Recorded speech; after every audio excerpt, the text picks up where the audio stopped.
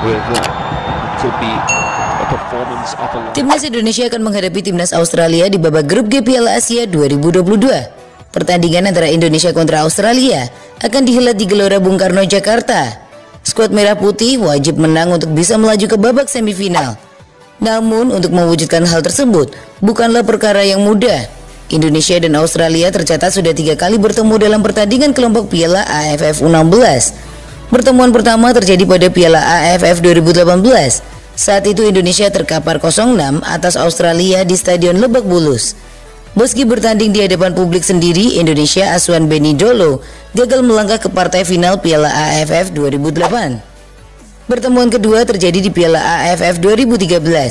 Pada laga yang bertajuk semifinal, Indonesia berhasil keluar sebagai pemenang lewat adu penalti setelah bermain imbang dua sama pada waktu normal. Pertemuan teranyar terjadi di Piala AFF U15 tahun lalu di Thailand.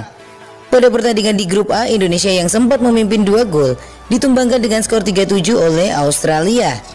Pada ajang itu pun Indonesia tak mampu berbuat banyak dengan finish di posisi kelima dari enam peserta grup A Piala AFF U15 2017.